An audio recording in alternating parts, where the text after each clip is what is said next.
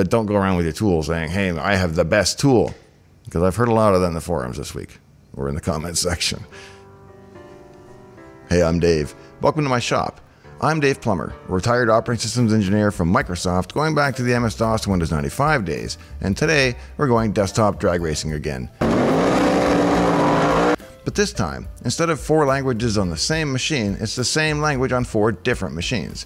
We'll take last week's winning CPU, the AMD Threadripper, and run it head to head with a new Apple Silicon M1 Mac and two flavors of Raspberry Pi.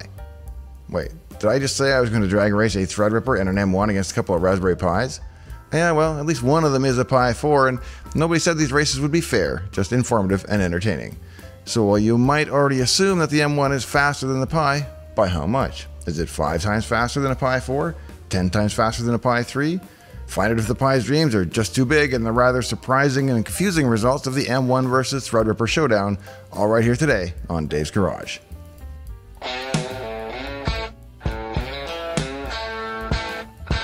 Now, before I even get into any of the cool code and benchmarking for today, I'm going to quickly tell you precisely why you should click on the thumbs up button for this particular video right up front. It's because I clearly demonstrate that I value your time. Some would even say that I talk too fast, but I could have easily split the two variants of the Pi off into their own episode and then make the M1 its own episode and then have a roundup episode where we compare them all and just milk this concept for all it's worth like some would do. But not me. I wouldn't do you like that. We'll do all the benchmarks today and I'll show you all the results right here today too. You can thank me by subscribing to my channel if you haven't yet done so. Vote me up on Reddit. Share this with a nerdy friend. Post it on Twitter. Well, that's enough of that then. What's the actual plan for fun and success today? Well, the main thing is that we're going to bust out a crisp new M1 Mac Mini. The real claim to fame for the new M1 is that its single core performance is unusually spectacular. For certain operations, it's about the fastest sequential core out there. I heard it even cheats a little by using the economy cores to somehow help the performance cores along, at least in x86 mode. You know what I say to that? Good. If it makes it faster, just do it. I'm all for it. Not a fan if it comes to that. We'll forgive them in exchange for more speed. At least I will. In the last episode, which was C Sharp versus C versus Python, I introduced what would become our canonical benchmark, our software drag strip, if you will, a prime sieve that strives to solve for all the primes under 1 million. It does so as many times as it can in 5 seconds. The fact that we're working in 64 bits C for this episode tells you which language was the winner last week, so everything will be C and then 32 or 64 bits as appropriate to whatever chip it is. A quick note about the comparison between the Apple M1 and the AMD Threadripper 3970X. Don't let the Threadripper's 32 cores worry you. It'll effectively have 31 of them tied behind its back for this fight, just as the M1 will be working from a single core as well. Even the Pis will be using but one of their four. But when it comes to gaming or other serial workloads, that's the reality of what matters. The AMD 3970 is actually slightly faster than its big brother, the 3990, on workloads of 32 threads or less. So it's what we'll be using today, and they generally score about 1260 on Geekbench. The M1 Mac scores 1700 in Geekbench. So, given that the M1 scores some 30% higher in that well known benchmark, should we expect a 30% increase in prime number batches as well? Well, maybe or maybe not. It's hard to guess for a number of reasons. Our prime sieve is primarily doing sequential in cache work against memory. If you want to be fancy about it, a sieve has excellent locality of reference, particularly if most or all of the sieve fits into the CPU cache, so the speed of the interface between the CPU registers and the memory cache is paramount. Our bit array will hold a million bits, but that's still only 125k. That should easily fit in the L1 cache of the Threadripper and the M1. It'll fall to the L2 cache in the Pis, but it'll still be inside the CPU. Another point to consider is that the 64-bit Intel instruction set has bit test and bit test and reset instructions that are very handy for this kind of work. I don't know my ARM instruction set well enough to give you a detailed comparison, but it will matter whether or not the ARM has instructions well suited to testing and clearing bits right in memory.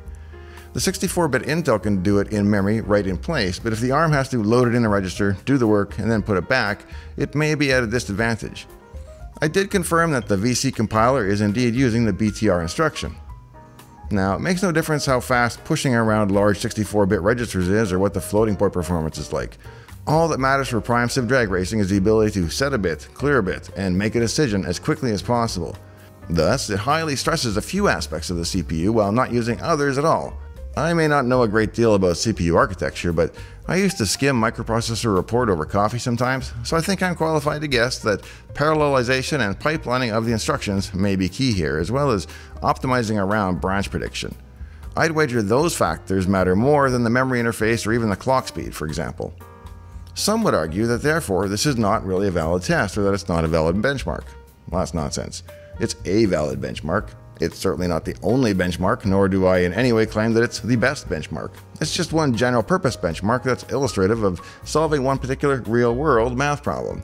But guess what? Accelerating in a straight line in a car does not test each and every system in a road vehicle either, but a time slip makes for some serious bragging rights, and being on the leaderboard is cool, and that's why we do it. To get the process rolling on a plain Ubuntu installation, we first have to install the C and C++ compilers. Let's drop into an SSH console connected to a Pi 3B Plus where I've got that process already well underway. As soon as the GCC install completes, we'll do a sudo apt install of G++ to get the C++ compiler that we need. And if you're thinking, boy, it sure installs a lot faster on Dave's Pi than it does on mine, keep in mind that's because I've sped up the video. What, did you think I'd make you sit through it real time? Not likely. Not on my channel. I'll then browse down into my source folder where I've already enlisted in the GitHub project, something you can do as well, and I'll talk more about that later. And then into the Prime CPP folder where the C++ version of the Prime Sieve lives. Unlike last episode, this time around everybody will be running the exact same code, so other than the variation from one compiler to the next, it's a pure hardware showdown. I've got a small shell script in the folder that will compile it with the options that I used in the episode. The GCC compiler, quite rightly, enforced that I add two additional include files before it would build.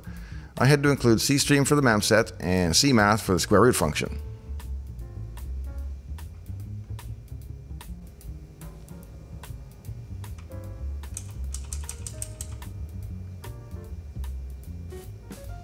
With the compiler errors fixed, I simply execute the run.sh batch file, which compiles and executes the code, and 5 seconds later, we're greeted with our result. 306 passes.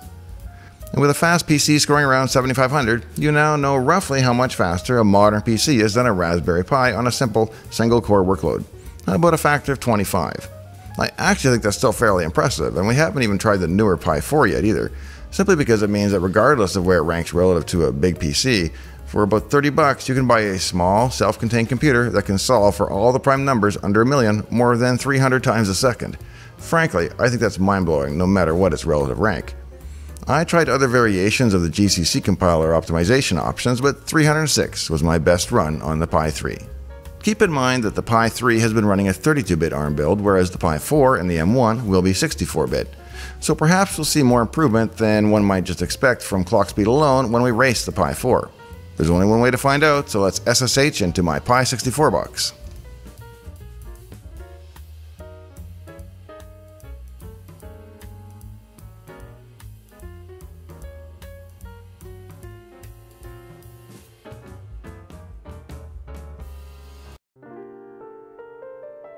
Here too, I tried various options, but OFast turned out to be the best, cranking out 780 passes, which is two and a half times as fast as the Pi 3B Plus. So if performance is an issue, it certainly seems like the Pi 4 is the way to go if you can find them at a fair price. Here's a quick look at the relative performance of the two Pis. Finally then, we have the new Apple Silicon M1 Mini, I chose the Mini because A, who am I kidding, I already owned it, and B, it should be about the fastest consumer core out there right now since it even has a cooling fan, whereas the MacBook Air might be thermally limited sometimes, for example.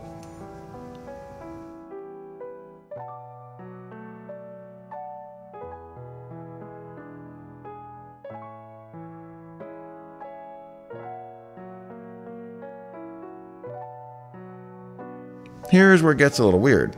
As you can see, at about 6200, the M1 Mini comes close to the Threadripper 7000, but does not surpass it. Actually, it was like 7500 on the Threadripper, so I wholly expected it would be faster. And I verified that it wasn't running under Rosetta, that it was a native binary, properly optimized, and all that. I tried G++, I tried it in Xcode, but 6500 was the best I could do without the screen recorder running. Thinking maybe the compiler is smarter on Windows, I started to tinker with the code, but if I do that, I've got to go back and retest it on a Threadripper since it would no longer be fair to compare the old code's results. And so that's what I plan to do, but before I get too far ahead of myself, could I even improve the C code? The first thing I did was to replace the code that tests for even array indices in the getBit and clearbit functions. They're called millions of times per pass, so their performance is critical. Instead of using modulus 2, I changed it to AND with 1. No difference. Then I thought maybe I was causing alignment issues by managing my memory as individual bytes, since ARM chips generally prefer their data blocks to aligned on 32 or 64 bit boundaries. As a test, I changed everything to be 64 bit unsigned ints, but it made no difference. I tried a lot of things actually and came away impressed because the compilers pretty much got it seemed to get it right. I mean, whatever I did didn't help. No changes to the code were made for this episode. Now, as much as I enjoy paying Apple 99 bucks for the right to call myself some kind of Mac developer, I'm not actually a Mac developer. That means I might be doing something really boneheaded. So if you can take the existing code and get like a 5 second result much above 6500 on a Mac, please let me know what, if anything, you did differently in the comments. If it happens, perhaps I'll make an M1 redemption episode, but for now though, the Threadripper remains king of the street in our desktop drag racing series. That won't last long. As soon as I get my hands on a 5950X, we'll see if a Ryzen 9 can displace the current champion. Everybody likes a chart, so let's have a look at the one I made for this episode to show you the relative performance of all of the processors.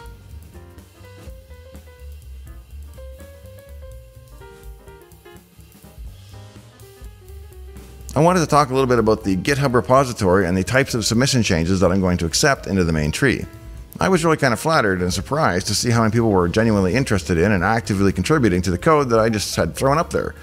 From reading through the pull requests, I learned a great deal about Python, libraries such as NumPy, the C Sharp optimizer, and so on. So I really appreciate that. And folks who found two bugs in the algorithm also have prompted me to fix them, and I've done that, and I, they should be checked in already by the time you see this. Neither was impacting results in our cases, but it could in others if you were doing like the square, if you were trying to find primes up to 49, there was a less than equal that should have been a less than. No, other way around there was a less than that should have been less than equal so that we did test the square root. Before, we were only going up to and not the square root. So, what changes will I accept into the tree? Well, obviously stuff like that, but things otherwise that can go alongside the main code base, and those are usually a no-brainer. Like somebody submitted a Java implementation that's pretty cool, so of course that's in. And if you want to crank out a Turbo Pascal or Ada implementation, that'd be cool as well. Uh, be sure to document what's needed to compile and run it, and the more languages, the merrier. The goal in all cases is to stay as similar to the existing code's algorithm as possible so as to make it easier to compare the languages directly. That's why my C++ looks like my C Sharp, which looks like my Python. That may not be ideal for any of the languages, but I didn't want to specialize too much for any one language. And along the way, I've seen some genius submissions using multiply uh, dynamically allocated bit sets and other changes in C++ that are a little too specialized for me to throw into the main tree, but anything that doesn't change the code too much, I'm very happy to look at. And if you've got a significantly faster implementation, feel free to put it in a folder beside the Prime CPP folder. Call it Prime CPP hash table or whatever makes sense for your case, and I'll check it out. If you haven't already seen the C versus C Sharp versus Python episode, be sure to check that out next. I want to call one thing out here. I was not picking on Python by illustrating how slow it was, because that's not what that language is for. So if you need to do massive numbers, millions of bit twiddles per second, Python is not your language, and we kind of prove that. But it's a pretty fun language to work in. So if you are in Python and then you go, well, now I have this need, there are libraries like NumPy and um, I'm spacing on some of the others right now, but uh, there were others as well that give you basically the ability to do it at native speed if you want. So you're not constrained by the fact that Python is an entire, well, is it entirely interpreted? It's mostly interpreted. It's complicated, bytecode streams and stuff. But suffice to say, the right idea is to use the right tool for the job. And part of the idea here was to show you what the right tool for different jobs is. If you need hundreds and thousands of passes of the primes up to 1 million per second, then Python is not the solution to your problem. But if you just need them once, or you need them, you know, once a second at most, well, then maybe it is, because how often do you really need this kind of processing done? So again, it's what's your problem? what's your problem, dude? And what are you trying to solve? So once you know what you're trying to solve, then you can pick your tool. But don't go around with your tool saying, hey, I have the best tool. Because I've heard a lot of that in the forums this week or in the comments section. And while you're at it, if you like this episode, there's a good chance that you'll also likely enjoy the retrocoding and assembly language episode. Or you may just want to hear me tell you a few stories and then you can check out the Why Are Blue Screens Blue episode. I'll throw links to both up at the end of this video. And speaking of liking this episode, if you did, please be sure to upvote it and make sure you're subscribed to the channel. When I see new subscriptions, I know I'm making content that people appreciate, so I make more of that content. And if you have the bell icon on, you'll even be notified about it when I do, so it's a win win. If you are subscribed, then I'll see you soon in the next installment of Software Drag Racing in Dave's Garage. In one of the next installments, I'm going to be looking at compiler performance because it turns out even on the PC in the Threadripper, I can get it to vary wildly depending on whether I'm in Unix or Windows and using GCC or VC and a lot of those permutations. Kind of some of them surprise me, so we'll take a look at some of those in an upcoming episode. In the meantime and in between time, I hope to see you next time, right here in Dave's Garage. Along the way, I've seen some genius submisses. Uh, ah, ah, can't speak. So I think that's worth an in depth look as well. Wow. So I think that's worth an in depth look. Says, wow, you having a stroke here or what?